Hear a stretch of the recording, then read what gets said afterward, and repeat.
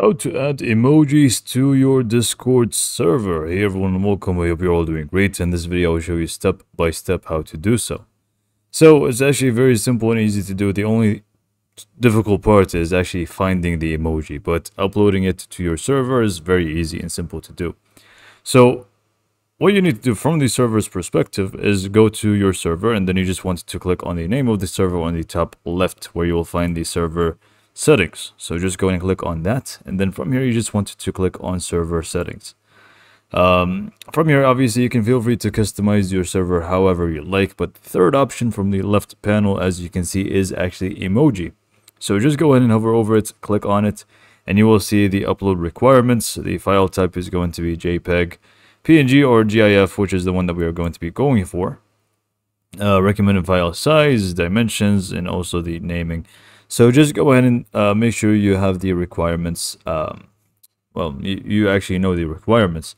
That's the first step. And then the second step is either creating the emoji or finding it or downloading it. If you just want to find a an emoji, then in that case, you can just go to a specific website.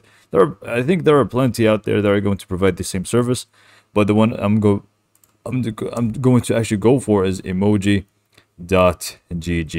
And then if you just open this up, you will find this um, website over here. So this website, you can actually go ahead and download the emojis that you want. Uh, now, all you need to do is just go in and search for a specific emoji and you will find most likely the emoji that you're looking for. Or you can just go ahead and go to category and go for animated. So we should actually find the animated section right down here. And just like that, we're going to actually find plenty of animated emoji. I'm sorry about the ads. They're not going to allow me to browse without them.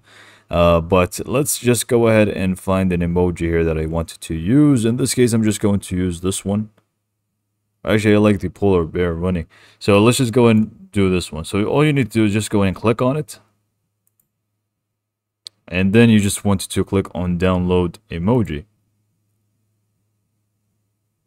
And once that's downloaded, that's pretty much all for this website. So we can say bye-bye to that.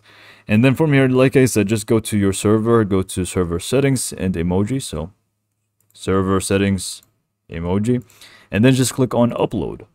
And then from here, you just want to go to the downloaded file that we just got.